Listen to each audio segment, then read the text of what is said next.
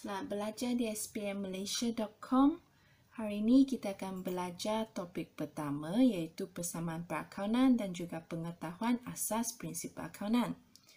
Sebelum kita bermula, saya harap kamu boleh sharekan apps dan website ini kepada kawan kamu supaya cikgu boleh bantu lebih ramai student dalam prinsip perakaunan. So, kita masuk dulu uh, pengetahuan asas kita. Okay, so sebelum kita uh, buat latihan pertama, cikgu akan uh, ajar kamu pasal apa itu uh, pengetahuan asas yang kamu kena tahu untuk prinsip perakaunan. Okay, dan juga ini adalah sangat penting kalau kamu tak tahu ni, uh, topik lain kamu akan tak dapat buat juga. Okay, so saya nak kamu first kamu kena hafal dulu AB sama dengan LEH. Okay. So, apa maksud ni? Uh, sebelum tu kamu kena tahu dalam account kita ada sebelah kiri, sebelah kanan. Sebelah kiri adalah debit, sebelah kanan adalah kredit. Okay. So, untuk uh, prinsip perakaunan, kita ada satu sistem panggil sistem catatan bergu. Okay. So, sistem catatan bergu ni, dia uh, maksud dia sebelah kiri dan sebelah kanan adalah sama nilai dia. Okay. Nilai debit adalah sama dengan nilai kredit. So, apa maksud ABLEH? A adalah aset, B adalah belanja. Okay dan L adalah liability, E adalah equity dan H adalah hasil. Okay. So, ini adalah ke, uh, kedudukan mereka apabila mereka bertambah. Okay.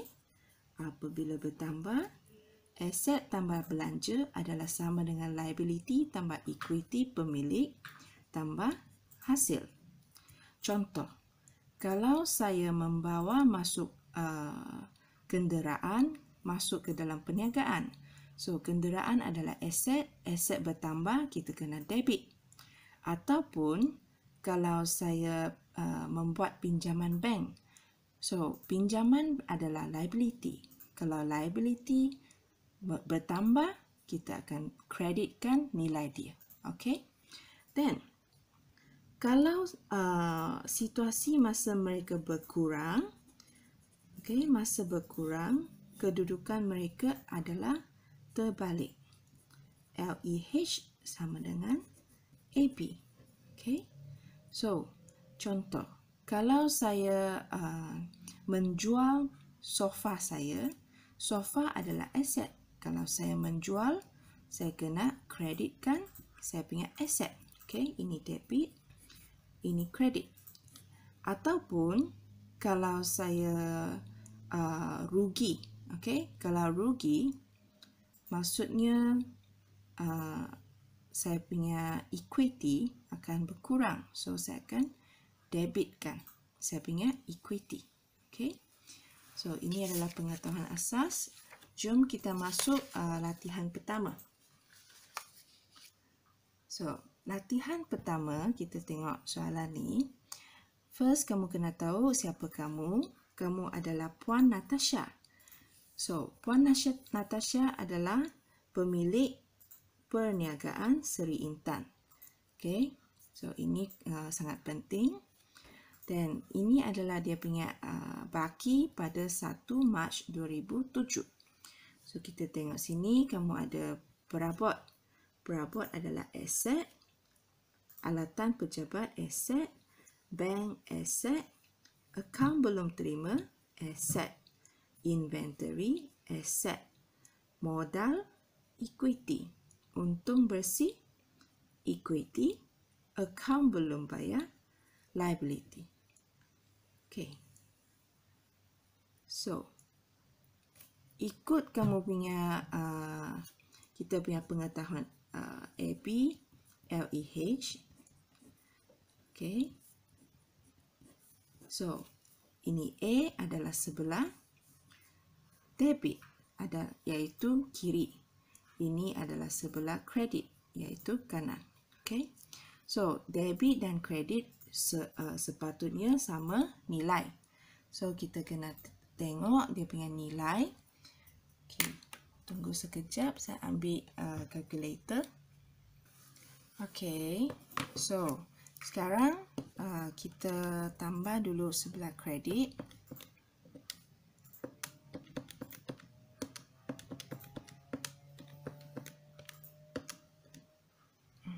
sorry ya.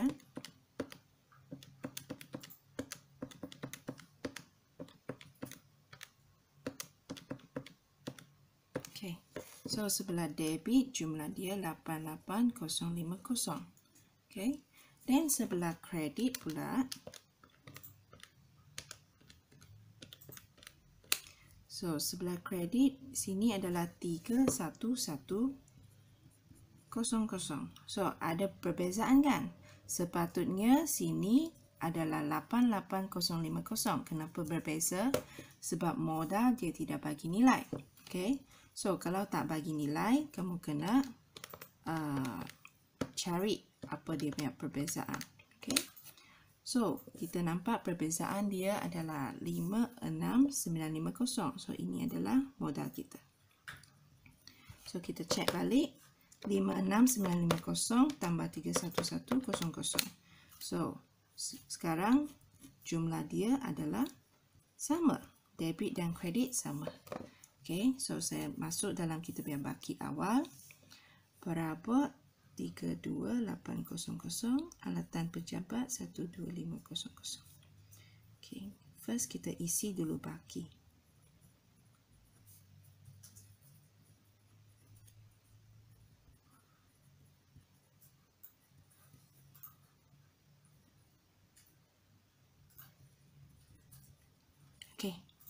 So, kamu nampak tak? Sini tulis asset, equity pemilik, liability.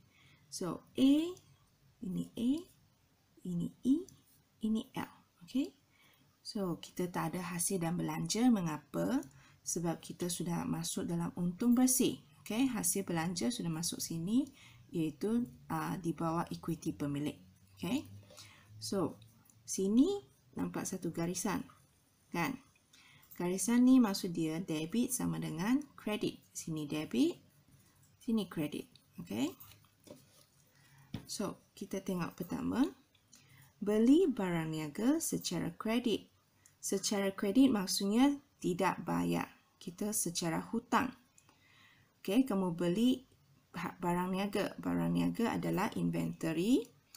Dan kamu beli daripada pembekal usyak. Pembekal usyak. Sebab kamu beli, beli barang ini adalah akaun belum kita bayar okey kita belum bayar punya so inventory bertambah dan masa ini ABB pun bertambah okey inventory bertambah 3200 dan kita punya ABB akaun belum bayar pun bertambah 3200 hutang kita bertambah okey second membayar akaun belum bayar 5720 dengan cek dan terima 300. Okey. Kalau kita bayar guna cek, cek adalah bank. So bank kita akan berkurang. Berapa kita bayar? Kita bayar 5720. Okey. Kita bayar dia dengan ini cek. Tetapi pada masa yang sama, kita terima diskaun daripada akaun belum bayar. Okey, diskaun kita terima. Kalau kita terima diskaun, maksudnya kita untung.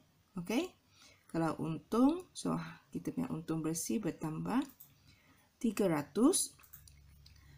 Okey. So, kita tengok. Sebelah debit negatif 5720. Okey, saya tulis dekat sini ya.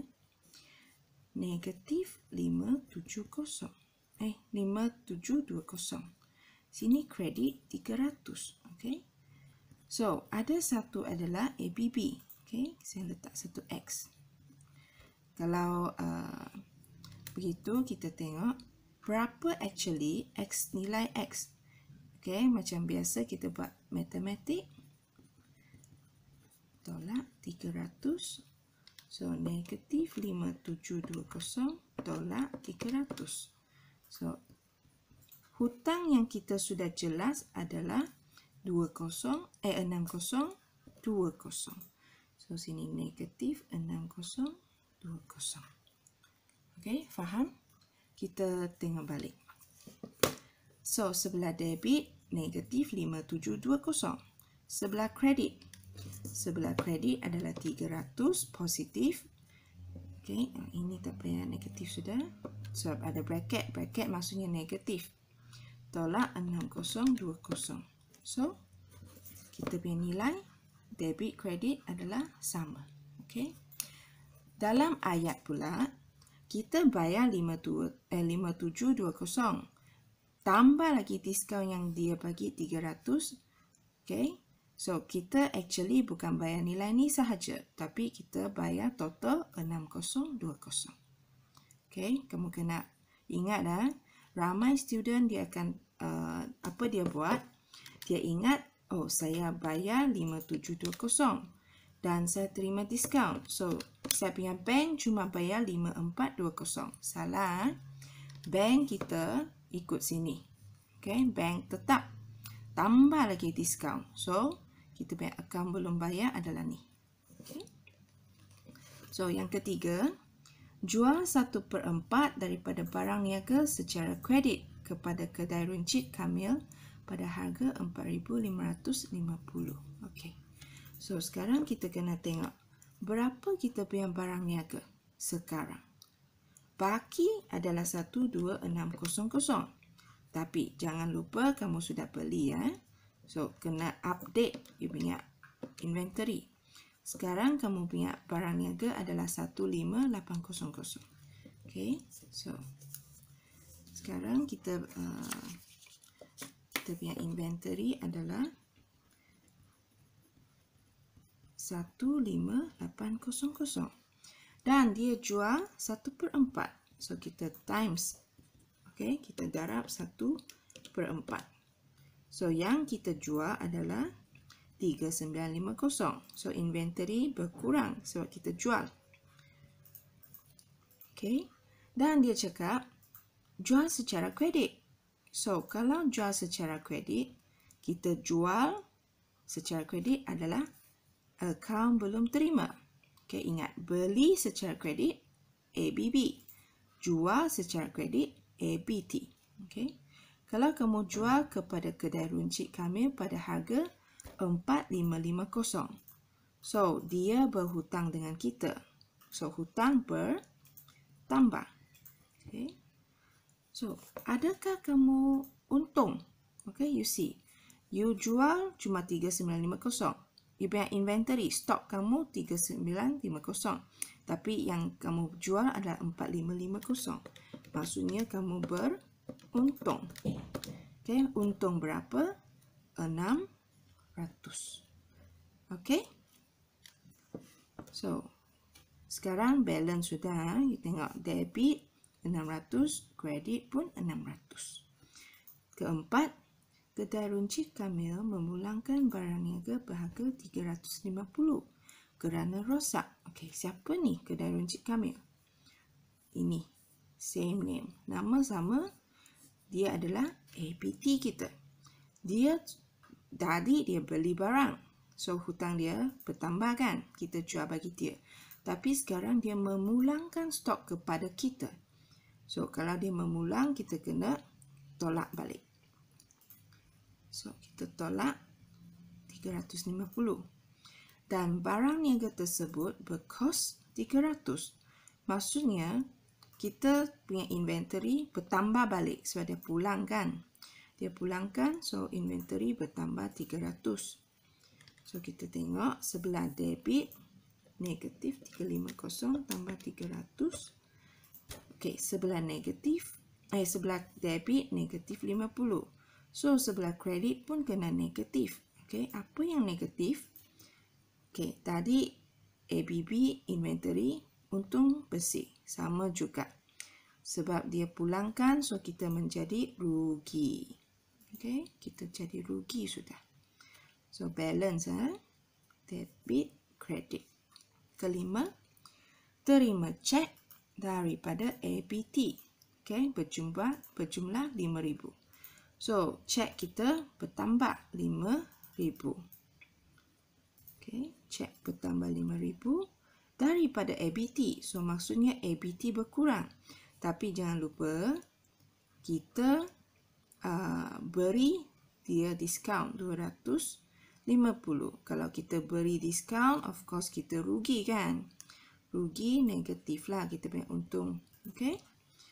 Then, berapa actually dia bayar? Sama macam itu urus niaga kedua.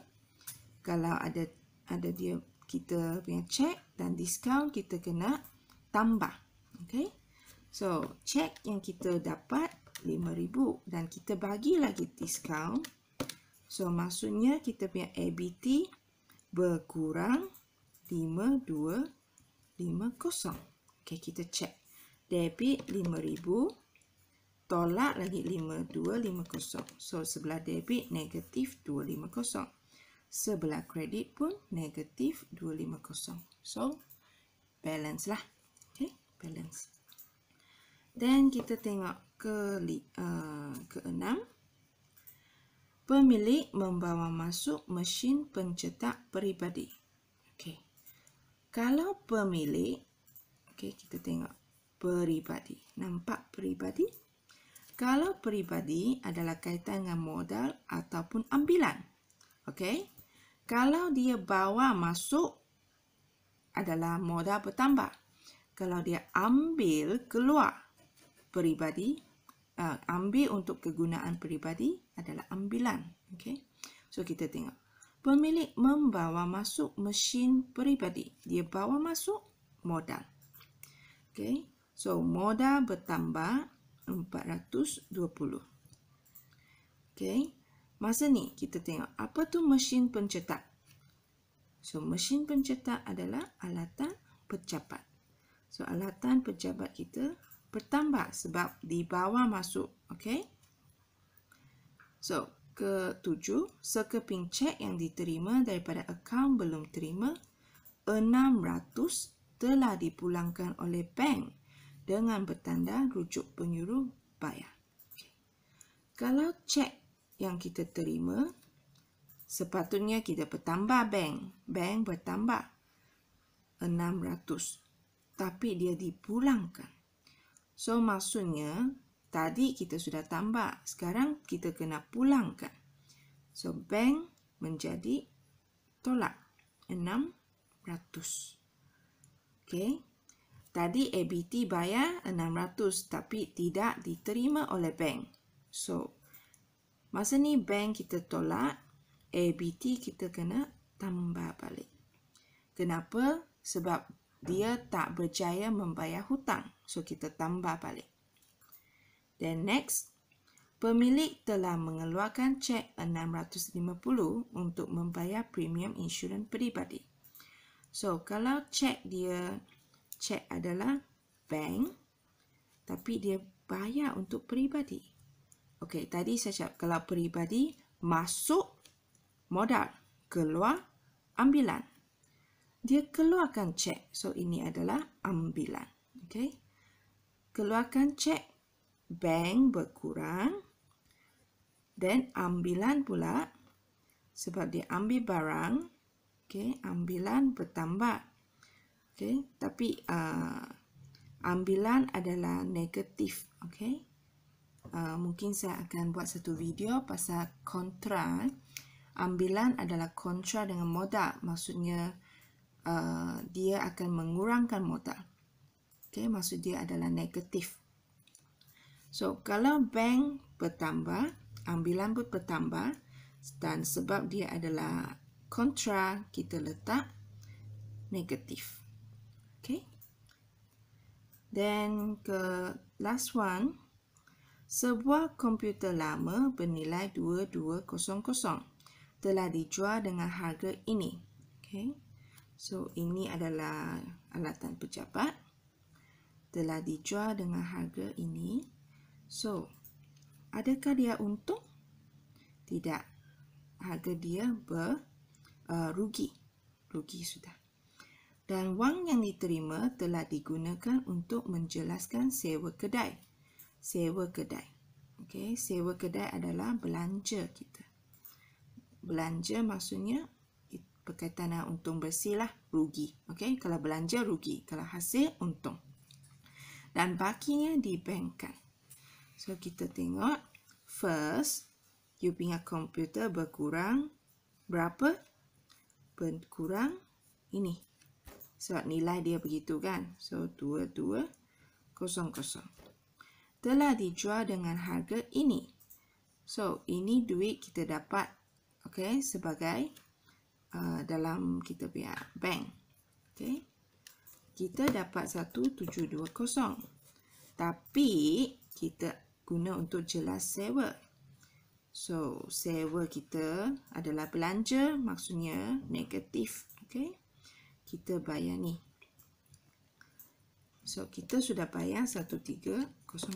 Kita tinggal 420 dan bakinya dibankkan. So, bank kita ada bertambah 420. Sekarang kita cek. Sebelah debit, negatif 2200 tambah 420. Sebelah debit, oh, sorry ya. Jadi, jual dengan harga ni.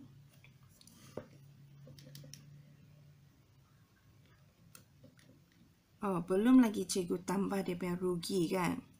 Okey. Dia punya komputer lama 2200 tapi dia jual harga ni, dia sudah rugi. Okey. Dia sudah rugi 480. Okey. Rugi dia 480. Dan dia bayar sewa. Sewa belanja. So, kita tambahkan actually 17 8 kosong. Ini dia punya belanja. Okay. Nampak? Okay. So, uh, rugi dia bukan 1 3 kosong kosong tapi 1 7 8 kosong. Okay. So, sebelah kiri negatif 2 2 kosong kosong tambah 4 2 kosong. So, sini negatif 1 7 8 kosong. Sini pun negatif 1 7 8 kosong. Okay. So ingat ah kena be careful. So rugi ni kita kena uh, masuk terdahulu. Okay. So sekarang apa kita buat? Okay, sekarang kita akan uh, tambahkan semua kita punya uh, jumlah sini. Perabot jumlah 32800 alatan pejabat 12500 tambah 420 tambah 2200 eh tolak sorry 12500 tolak 2200 so sini 10720 ingat dah bracket negatif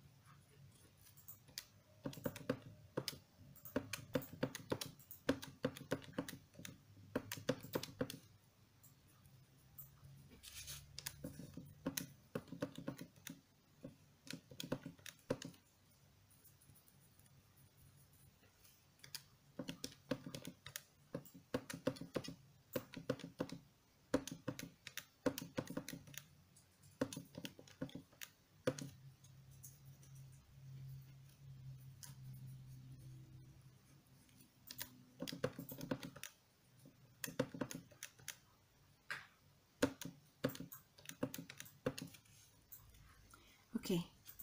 Walaupun kita sudah siap tambah, kita kena buat satu final checking kan.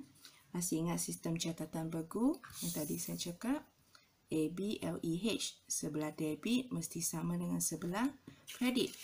Okay, so kita tengok sebelah debit. Ini kita punya tengah-tengah.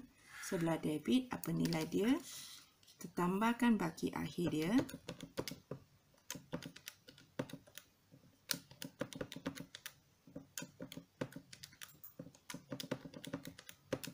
So, sini debit 83820.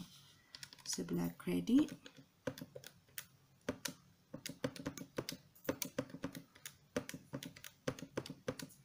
Okey, 83820. So, you nampak sama. Kalau sama, okey, uh, besar kemungkinan adalah betul. Okey. So, ini adalah jawapan dia kamu boleh cuba juga buat semula latihan ni dengan sendiri. Okay, kamu boleh download uh, itu dokumen dekat website dan buat. Okay, kalau kamu ada tak faham, kamu boleh repeat again video ni. Saya ada satu tips untuk kamu. So, normally uh, kalau kamu buat tak balance, jangan kamu takut masa sini tak balance. Tak semestinya semua salah jangan kamu padam dan uh, recorrect. Okay? Kecuali kamu sangat pasti apa yang kamu salah. Kalau kamu tak pasti, jangan tukar sesuka hati. Sebab ini akan membuat kamu hilang marker senang-senang. Okay? So, uh, harap kamu boleh subscribe saya punya YouTube channel dan share kepada kawan kamu supaya cikgu boleh buat lebih banyak video untuk kamu. Okay? Terima kasih.